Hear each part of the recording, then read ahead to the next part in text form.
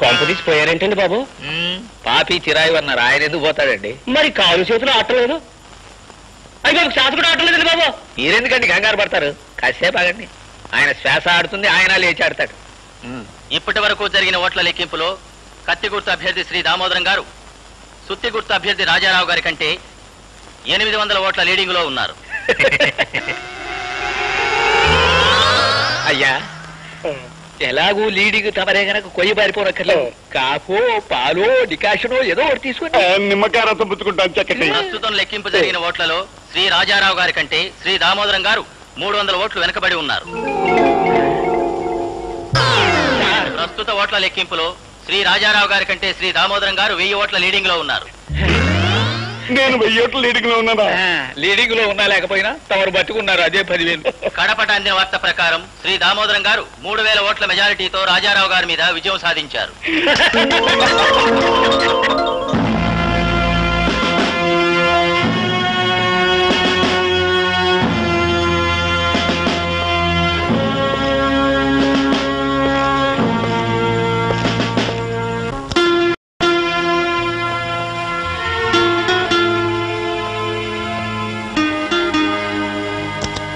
పై చాలాసేపు అయినట్టుంది. చీకట్లో కూర్చున్నావే? గోపి ఈ విచిత్రం తెలుసా? ఎవరో ఓ ఖైదీకి పొద్దున్నే ఉరిశిక్షట ఊళ్ళ నుంచి జనం బళ్ళు కట్టుకుని వస్తూనే ఉన్నారు. ఆఖరిసారిగా అతన్ని చూడాలని జైలు కూడా అవతల దీనంగా కూర్చొని ఉన్నారు. ఎవరా ఖైదీ? చాలా గొప్ప మనిషా? అవును. గొప్ప మనిషి. నీ మూడ్ సరిగ్గా ఉన్నట్లేదు. ఉండు కాఫీ తీసుకొస్తాను. రేఖ. ఉమ్,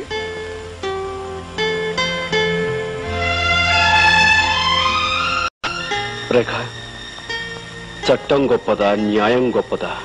ఎందుకు అలా అడుగుతున్నావు? న్యాయమే గొప్పది. న్యాయాన్ని రక్షించడం కోసం చట్టాన్ని బలిపెట్టవలసి వస్తే అంతవరకు వస్తే ప్రాణాల్ని బలిపెట్టైనా న్యాయాన్ని రక్షించుకోవాల్సిందే.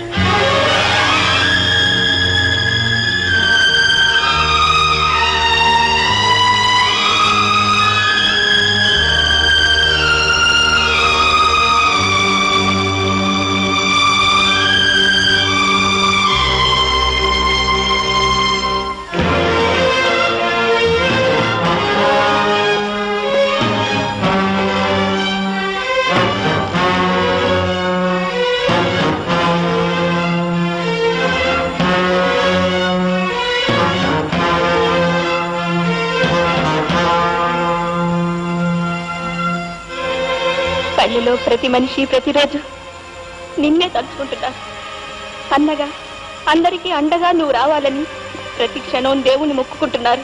అన్నయ్యని ఎలా అయినా కాపాడుకోవాలి. నీ కోసం నా కోసం కాదు. మనలాంటి వాళ్ళందరి కోసం అన్నయ్యని కాపాడుకోవాలి.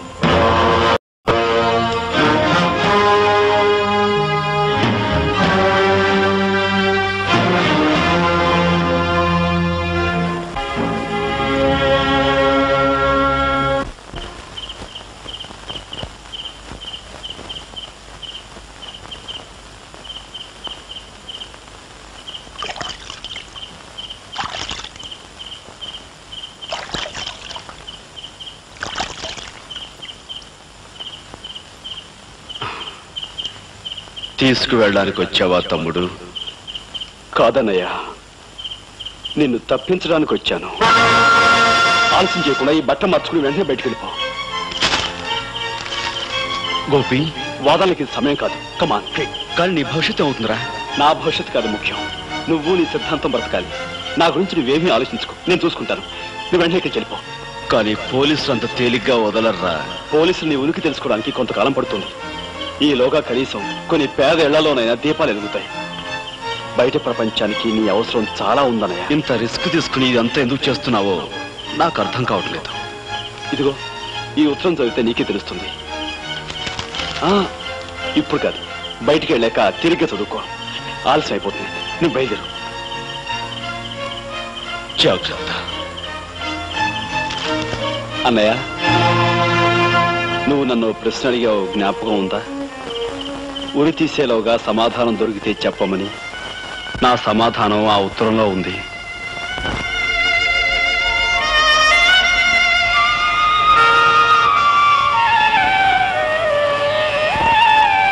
జాత్య హి ధ్రువో మృత్యు ధ్రువం జన్మమృత తస్మాద పరిహార్యేర్ధే నత్వం శోచితుమర్హసి నత్వం శోచితుమర్హసి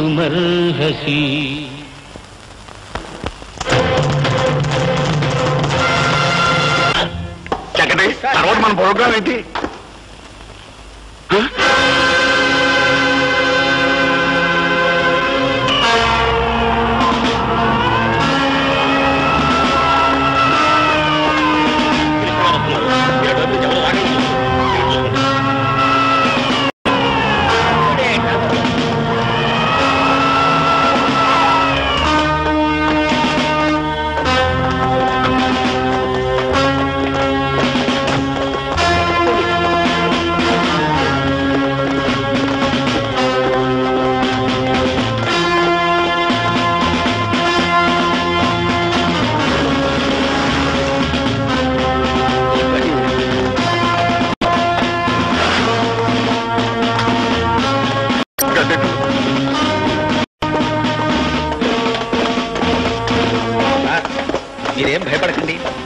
సరే పోలీస్ వేషంలో వస్తే తప్ప తమని కొట్టలేదు.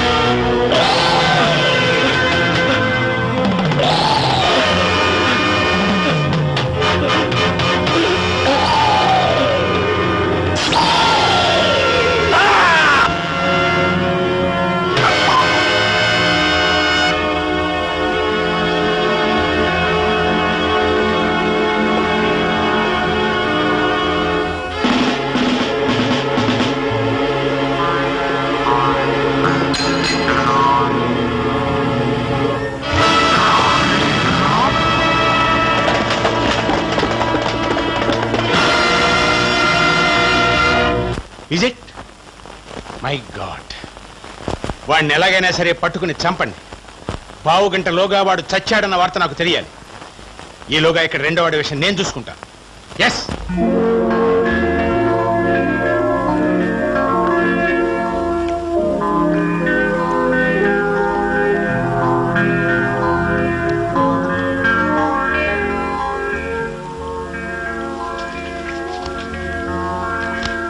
మనుష్యులు పుడుతూ ఉంటారు పోతూ ఉంటారు. కానీ మానవ జాతిని ముందుకు నడిపించే సిద్ధాంతం మాత్రం ఎప్పుడూ బ్రతికే ఉంటుంది. నువ్వు నమ్మిన సిద్ధాంతాన్ని ప్రపంచానికి తెలియజేయడానికి నువ్వు బ్రతికుండాలి.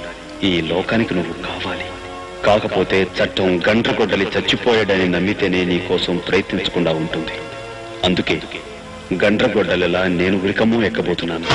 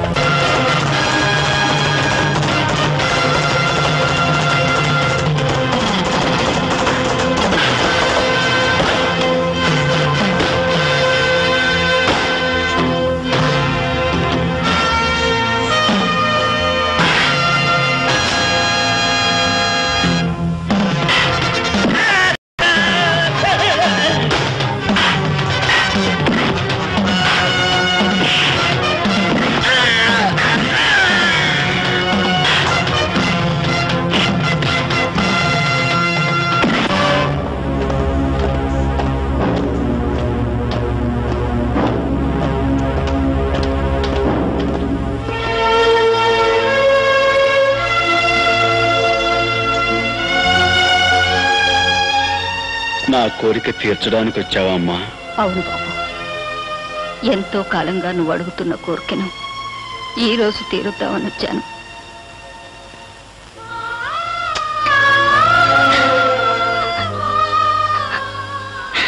అమ్మా. అవును బాబు. లోకం గుర్తించని మహోన్నతమైన నీ త్యాగం నాకు తెలుసురా. ఆకాశం అంతే తిరిగిపోయిన నీకు ఆశీస్సులు తప్ప నేనేమివ్వగలను బాబు. అమ్మా.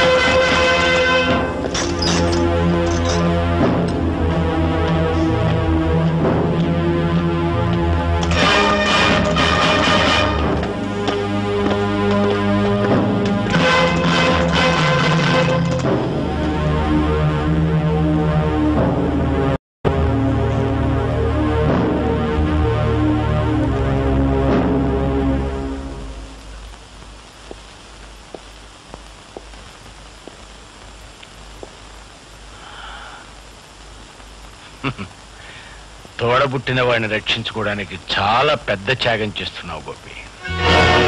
కాకపోతే నువ్వు చేస్తున్న ఈ త్యాగం వృధా. ఎందుకంటే నువ్వు రక్షించి బయటికి పంపించిన అన్న మేము ఏర్పాటు చేసిన రౌడీల చేతుల్లో ఈ పాటికి చచ్చుంటాడు. నువ్వు ఇప్పుడు ఇక్కడ చట్టం చేతిలో చావబోతున్నావు.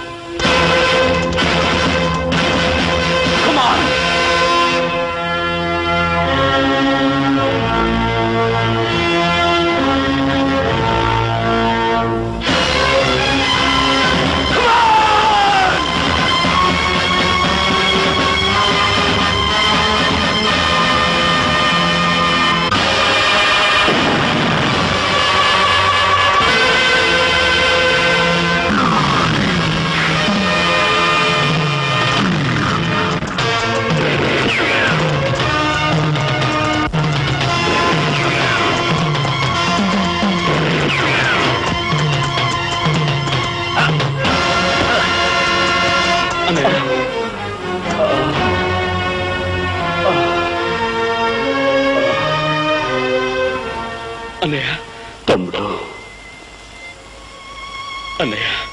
తమ్ముడు హిమాలయాల కంటే ఎత్తుగా ఎదిగిపోయిన నీ వ్యక్తిత్వం చూసి నాకే చేతులెత్తి నమస్కరించాలనిపిస్తోందిరా. అన్నయ్య. అన్నను బ్రతికించుకోవడం కోసం. ఉద్యోగాన్ని బలిపెడుతున్నావు అనుకున్నానే గాని సిద్ధాంతాన్ని బ్రతికించుకోవడం కోసం ప్రాణాలను త్యాగం చేస్తున్నావు అనుకోలేదురా. తమ్ముడు ఏ క్షణమైతే నువ్వు ఉరుకంబానికి భయపడటం మానేశావో ఆ క్షణమే నేరం చేసిన చట్టాన్ని ఆయుధంతో అంతం చేసే ధైర్యం నీకు వచ్చిందిరా. వెళ్ళు తమ్ముడు. నువ్వు విజయం సాధిస్తావనే నమ్మకం నాకుందిరా. నీ నుదుటున రక్త సింధూరమై నేనుంటాను నీతో నీలోనే జీవిస్తూ ఉంటానురా. వెళ్ళు తమ్ముడు నీకోసం ప్రపంచంలో అనాథలు అభాగ్యులు అందరూ ఎదురు చూస్తున్నారా? అస్థి మూల పంజరాలు ఆర్తరావ మందిరాలు. అత్తయ్య